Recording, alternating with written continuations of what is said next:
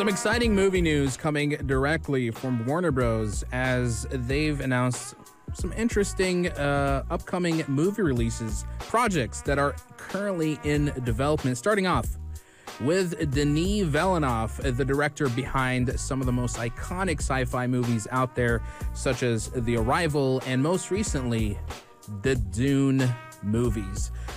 Now, he did say and he did confirm that he is going to be working on Dune Messiah, and uh, hopefully production will begin as soon as next year.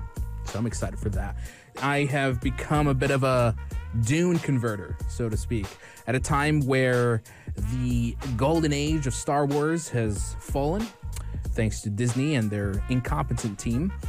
Um, Dune has become that sort of, you know, that little shed of light of hope of like, you know, the sci fi genre ain't dead just yet.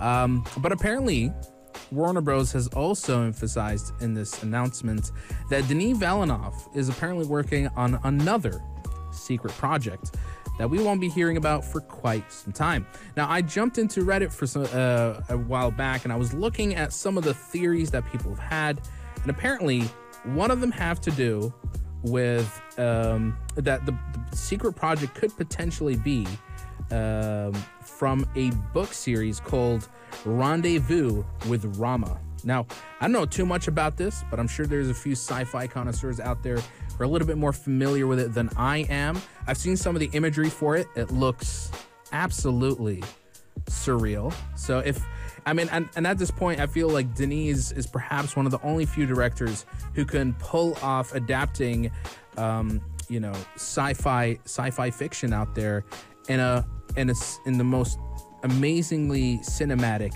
way. So I'm excited for Dune Messiah. It's gonna be a while before we hear more about it, and apparently, Warner Bros. has also announced the development for the next MonsterVerse movie. Now, Godzilla X Kong, the new empire, which premiered back in March of this year, uh, did pretty well. It earned a substantial half uh, a billion dollars worldwide, which numbers like that and post after you know the the pandemic, the COVID pandemic, is pretty decent at a time where theatrical uh, theatrical releases are not hitting the expected numbers. This is a safe haven it's a win for Warner Bros. And um, what will come next for the MonsterVerse? Well, more monsters, hopefully.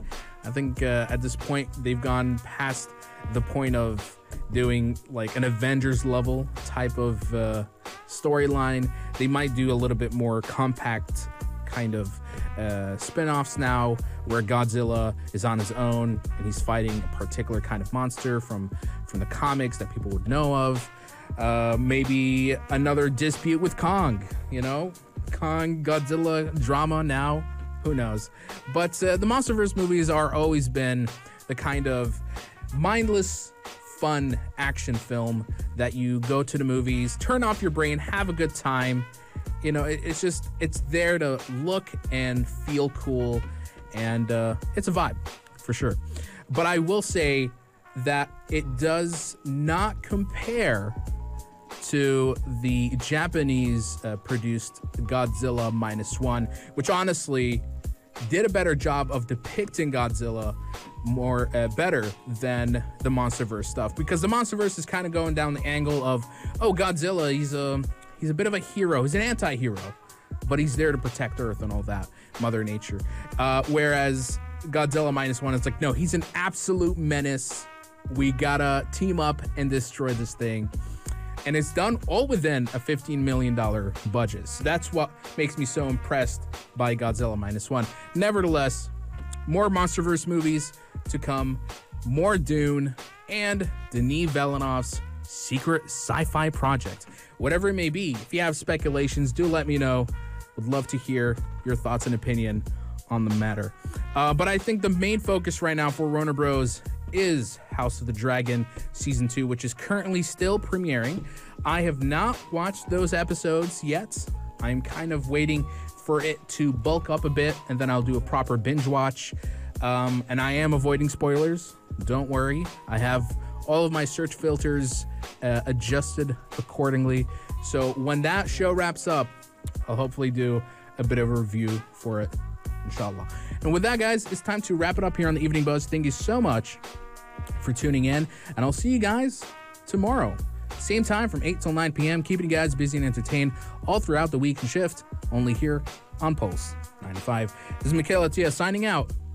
Have a good one. If you liked this episode of The Evening Buzz, drop a like and subscribe. Be sure to follow us on Instagram for all our daily updates and top stories.